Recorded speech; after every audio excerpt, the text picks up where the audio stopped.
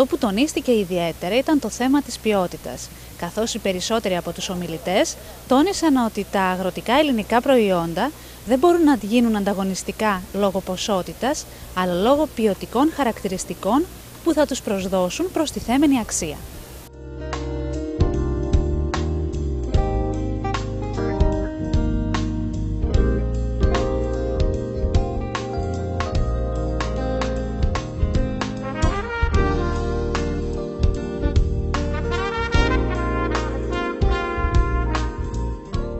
Ο κύριος Δημήτρης Βακάμης, γεωπόνος από την Ημαθία, μίλησε για το θέμα της ποιότητας στα φρούτα, αλλά και για τη γεωργία ακριβίας.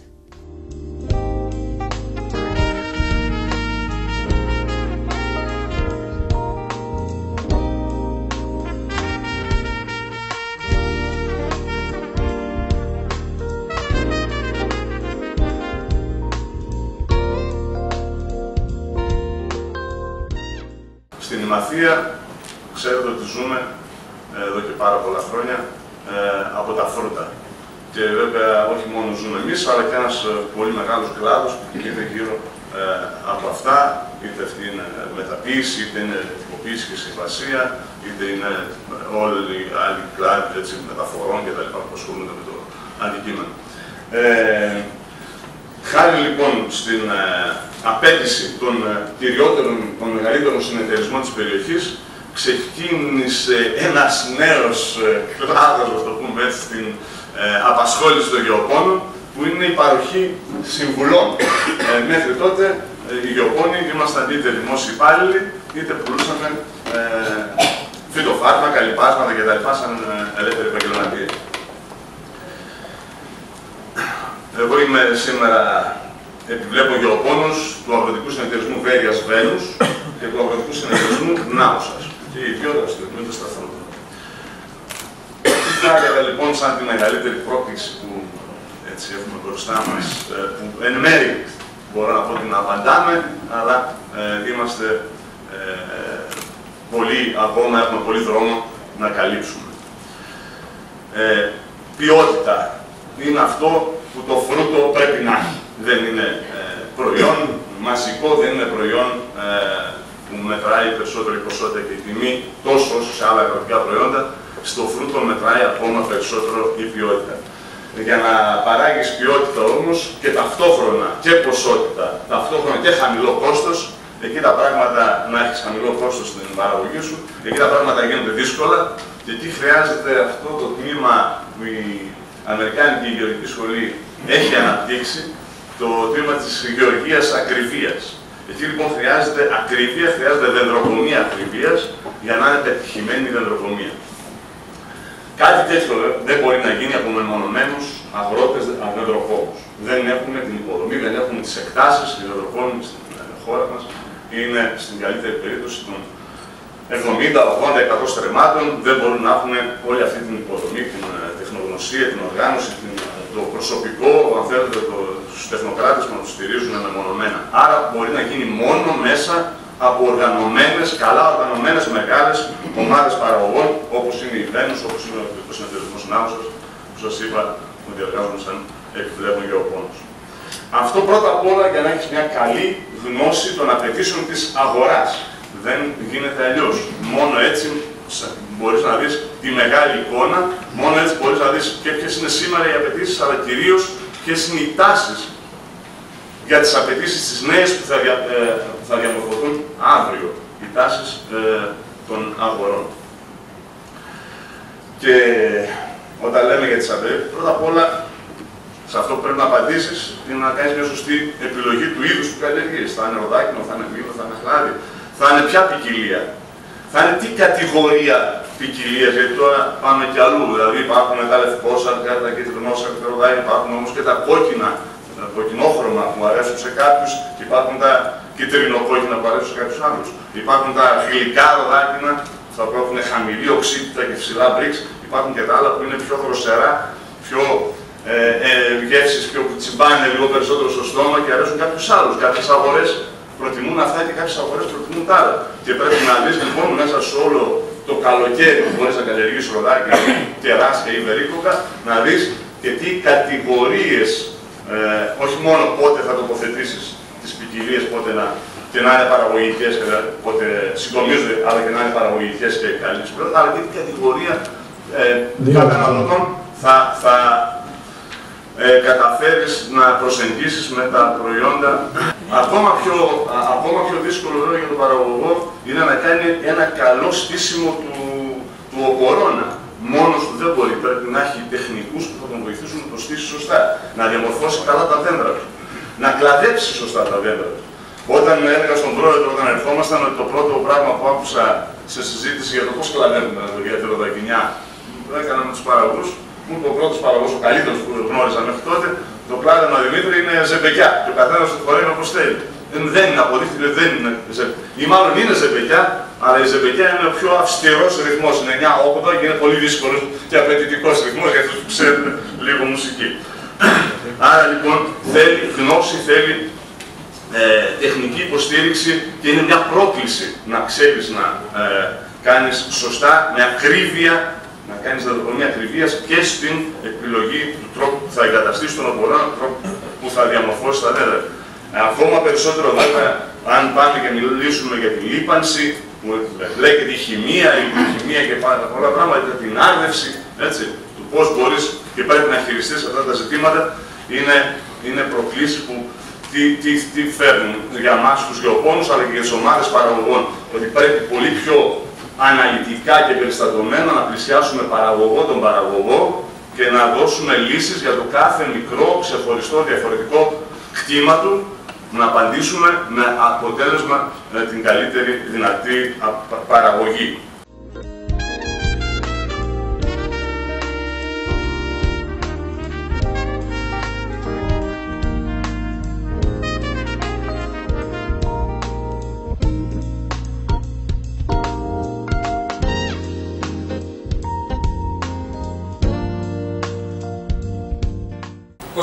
Συνεταιρισμό έχει πλήρη επίγνωση της θέσης του και του ρόλου του στην οικονομία και της περιοχής μας, αλλά και γενικότερα την ε, ελληνική οικονομία και φροντίζει να εξασφαλίσει στα μέλη του ικανοποιητικά οικονομικά αποτελέσματα, υποστηρίζοντας και διαφυλάσσοντας το σημαντικότερο κεφάλαιο που έχει ο συνεταιρισμός.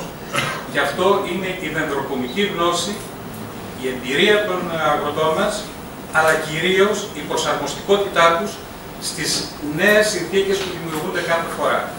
Ήδη ο Δημήτρης ο Βακάμης σας ε, είπε μερικά πράγματα πριν ε, για το ε, πόσα πράγματα δοκιμάζονται καινούργιες μέθοδοι καλλιέργειας, ε, ε, καινούργια φάρμακα, δεν είμαι και τεχνικός για να ξέρω ακριβώς, αλλά για μένα αυτό που έχει σημασία είναι ότι αυτή η αξία της προσαρμοστικότητας στα νέα δεδομένα είναι πάρα πολύ σημαντική. Η παραγωγή μας είναι ιδιαίτερα ευέλικτη στις αποφάσεις τους και προσαρμόζεται πάρα πολύ γρήγορα ε, στα καινούργια δεδομένα. Η πολιτική της ποιότητας ε, για μας είναι το Α και το Ω. Αλλά σας είπα και πάλι, δεν είναι απλώς δηλαδή μια πολιτική ή μια στρατηγική, είναι κάτι παραπάνω, είναι μια αξία. Η αξία αυτή δεν αφορά μόνο στα τεχνικά θέματα της ποιότητας, αφορά και στις σχέσεις με τους συνεργάτες μας, είτε με τους αγρότες μας, είτε με τους πελάτες μας, είτε με τους προμηθευτές μας. Δεκάδες παραδείγματα όπου δοκιμάστηκαν αυτές τις σχέσεις και όπου κερδίθηκαν επειδή ακριβώς αξιολογήθηκαν σε πολύ ψηλό ε, ποιοτικό επίπεδο.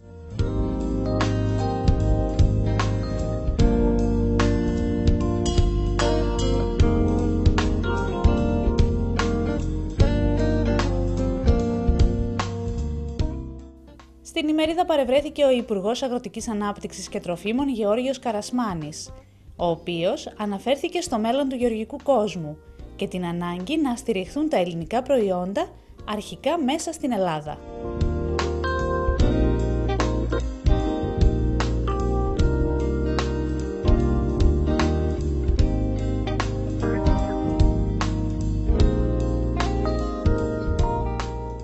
Αν η ελληνική γεωργία κτηνοτροφία και αργία έχουν μέλλον.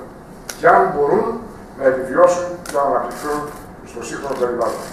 Ένα περιβάλλον χώρο και να γίνεται πιο ανταγωνιστικό και θα έλεγα και πιο απαιτητικό. Εάν τους απαντούσαν μόνο με στοιχεία και αριθμούς για το σύνολο της ελληνικής γεωργίας, τότε μάλλον δεν θα τους έδιναν πολλές νότε αισιοδοξία.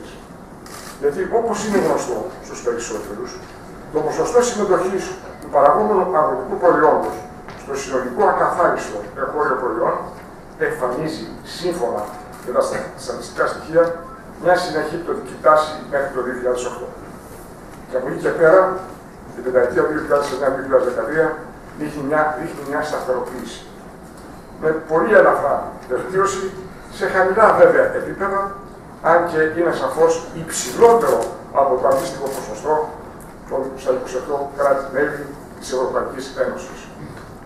Την ίδια ώρα, το αγροτικό εισόδημα εμφανίζει μια έντονη, θα έλεγα, τάση συρρήκνωσης. Με ορισμένα βέβαια σκαμπανεβάσματα, αλλά με σαφή απόκτηση από το μέσο ευρωπαϊκό ε, αγροτικό εισόδημα. Παρότι δεν θα ήθελα να σας κουράσω με στατιστικά στοιχεία, να σας αναφέρω μόνο πως η απασχόληση στο πρωτογενή τομέα στην Ελλάδα την τελευταία δεκαετία παρουσιάζει θείοντα αριθμό. Όπως επίσης ότι οι κοινωνικές ενισχύσεις και επιδοτήσεις εξακολουθούν να αντιπροσωπεύουν πάνω από το μισό της καθαρή προστιθέμενης αξίας της εγχώριας αγροτικής παραγωγής, ενώ με την εφαρμογή της καινούργιας κοινής αγροτικής πολιτικής έχουμε μια ελαφρά μείωση στους, σε απόλυτους αριθμούς. Δεν πρέπει εξ, εξάλλου να διαφεύγει της προσοχής μας πως μετά την εκτείναξη σε δυσφαίροντα ύψης μέχρι το 2008 το έλλειμμα στο εμπορικό γεωργικό ισοζύγιο της χώρας εμφανίζει αισθητή συρρήκνωση. Η οποία όμως κατά κύριο λόγο οφείλεται στην οικονομική κρίση και στη μείωση των εισαγωγών. Να σημειώσω εδώ ότι το σύνολο του ελλείμματος στο εμπορικό γεωργικό ισοζύγιο της χώρας έχει να κάνει με τις εμπορικές συναλλαγές με τις χώρες μέλη της Ευρωπαϊκής Ένωσης και ιδίως τις χώρες της Ευρωζώνης, ενώ ως προς τις τρίτες εκτός κοινότητας χώρας το ισοζύγιο είναι πλεονασματικό. Όπως επίσης αρχείο τέρμα για την ελληνική αγροτική οικονομία και κατ' επέκταση για την ελληματικότητα του γεωργικού μας εμπορικού ισοζυγίου εξακολουθεί και παραμένει ο κτηνοτροφικός τομέας με το κρέας και το γάλα, που ακόμα δεν μπορεί να αντιμετωπιστεί απόλυτα με την πολύ καλή πορεία της εξαγωγής φωτολαχανικών και αλλιευτικών προϊόντων. Άρα, με αυτά τα αριθμητικά στατιστικά στοιχεία, η απάντηση στο κρίσιμο ερώτημα θα είχε μάλλον μια δυσίωνη χρειά. Αλλά προσωπικά εγώ δεν απαντώ έτσι. Όχι γιατί παραβλέπω την πραγματικότητα με τους αριθμούς άλλωστε όπως ξέρετε, είναι δύσκολο να τα βγάλεις πέρα. Ούτε γιατί από τη φύση μου είμαι αισιόδοξος άνθρωπος. Απλούστατα απαντώ ότι η ελληνική γεωργία, κτηνοτροφία και αλληλεία έχουν και μπορούν να έχουν μέλλον και μάλιστα ευίωνο. Και είμαι καταφατικός, γιατί κοιτάω ίσως περισσότερο τα λεγόμενα ποιοτικά στοιχεία. Γιατί παντού στην Ελλάδα έχω δει προϊόντα ποιότητας τόσο λόγω των κλιματολογικών, εδαφολογικών, ποικιλιακών συνθηκών, αλλά και λόγω των ανθρώπων που τα καλλιεργούν και την εγγένεια διάθεση του αγροτικού μας τομέα. Φυσικά, οποιοδήποτε από εσάς μπορεί να διδάξει άλλα προβλημάτων και αδυναμιών σε καλλιεργητικέ μεθόδους, υποδομές, θεσμικά πλαίσια, επιστημονική υποστήριξη, ερευνητικές προσπάθειες και άλλα πολλά. Όσοι ζούμε σε αυτόν τον τόπο και ενδιαφερόμαστε πραγματικά γι' αυτό, δεν μπορούμε να τα κλείσουμε. Ούτε να τα αποποιηθούμε. Όμως, κυρίες και κύριοι, εκεί είναι η προσπάθεια που πρέπει να γίνει και εκεί πρέπει να δοθεί το ειδικό βάρος από όσους πιστεύουν και μεταξύ αυτών συγκαταλέγουμε και εγώ ότι ο πρωτογενή τομέας μπορεί και πρέπει να αποτελέσει σήμερα εφαρτήριο της χώρας μας για την οικονομική ανασυγκρότηση και ανάπτυξη.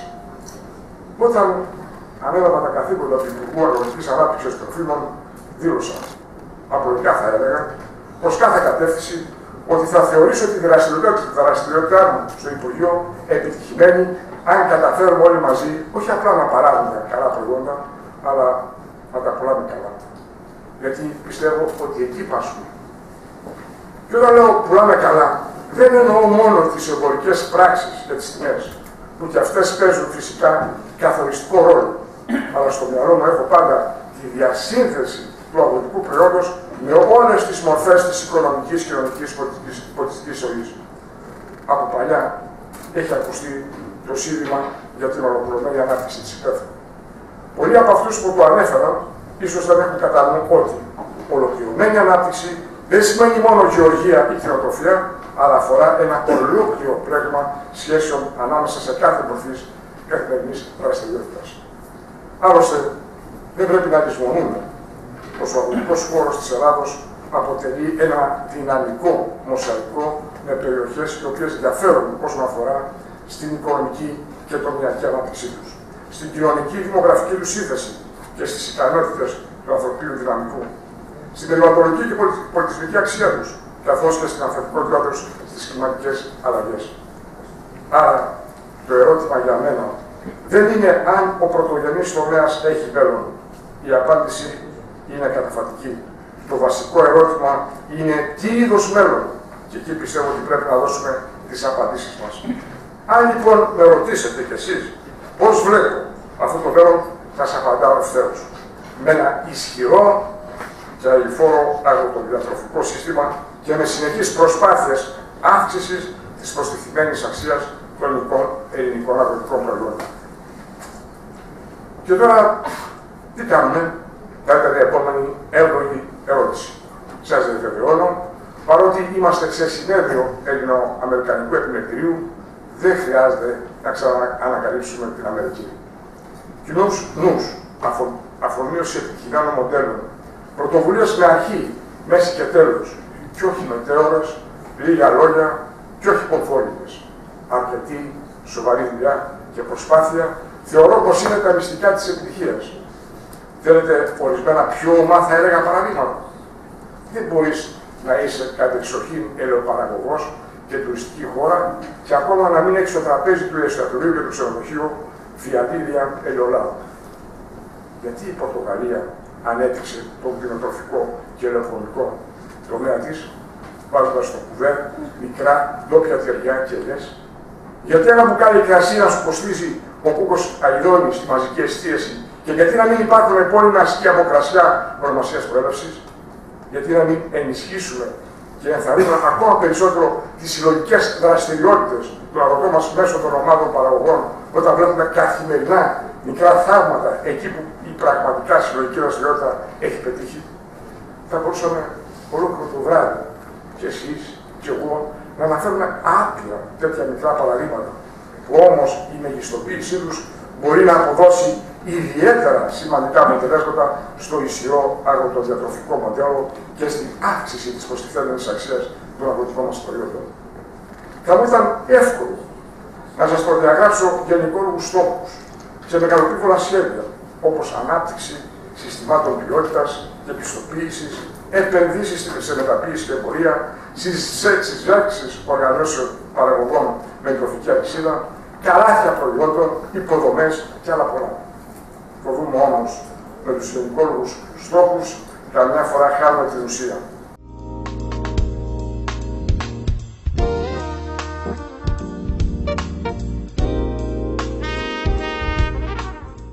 Όπως τονίστηκε κατά τη διάρκεια του συνεδρίου, πρέπει να γίνει αλλαγή πλεύσης, αλλά και αλλαγή σκέψης όσον αφορά τον αγροτικό και διατροφικό τομέα στη χώρα μας. Κάπου εδώ και η απόψινή μας εκπομπή ολοκληρώθηκε. Μέχρι την ερχόμενη εβδομάδα να είστε όλοι καλά.